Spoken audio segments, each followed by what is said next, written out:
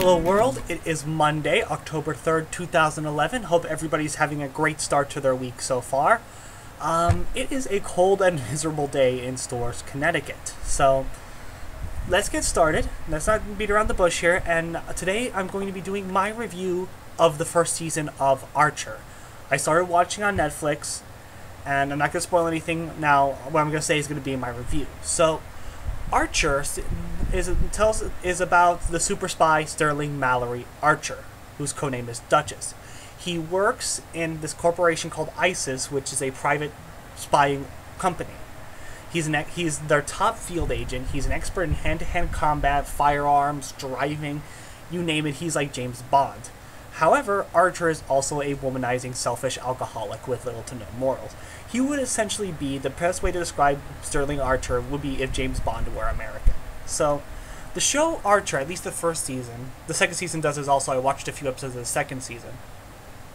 It's just about Archer's work at ISIS, his relationship with his equally selfish alcoholic mother, who also happens to be his boss, and the relationship with his co-workers, especially his fellow field agent and former girlfriend Lana Kane. So here's what's really good about Archer. It is morally depraved, like in terms of the characters. Nearly the entire main cast are essentially horrible people, with either no morals or they have really disturbing vices, like being choked during sex, like in the case of Cheryl. It's a sh- if it's a show, if you like shows like It's Always Sunny in Philadelphia and Arrested Development, then Archer has a very similar sense of humor, and you probably appreciate this show greatly. Hell, I know I did. I thought the show was absolutely hilarious, partially because of how morally depraved the characters are.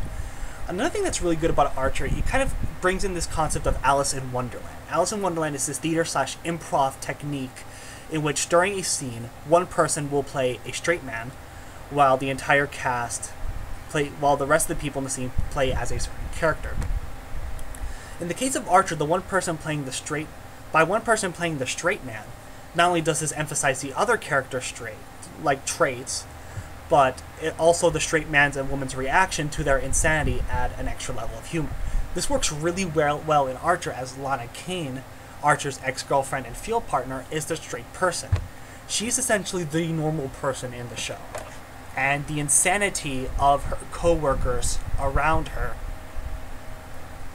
is just by, you know, and it, by her being so normal, it highlights her own co-workers' insanity and makes the show that much more hilarious.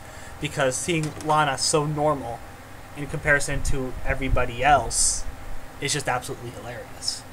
Another thing that's really interesting about Archer is that is the fact that it shows kind of like the bureaucracy of the spy organization.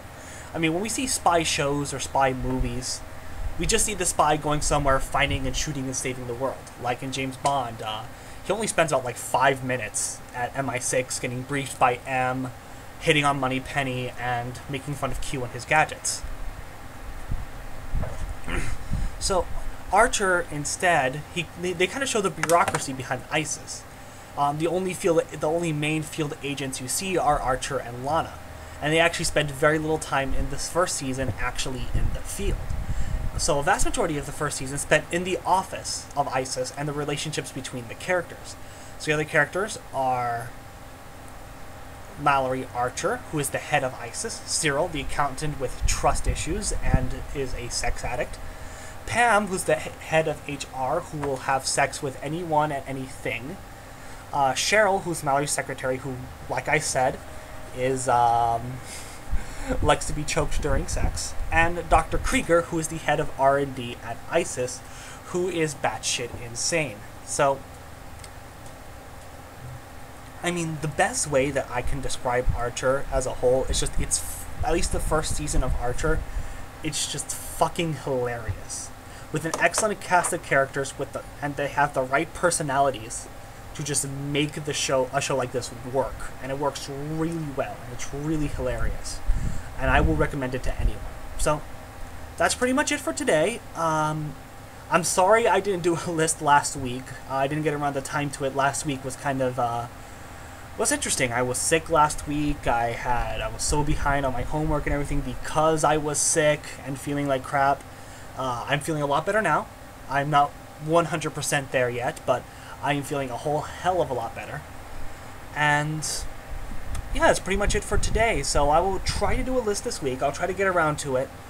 And um, yeah, so I will hope to see you guys sometime later on during the week. All right, peace.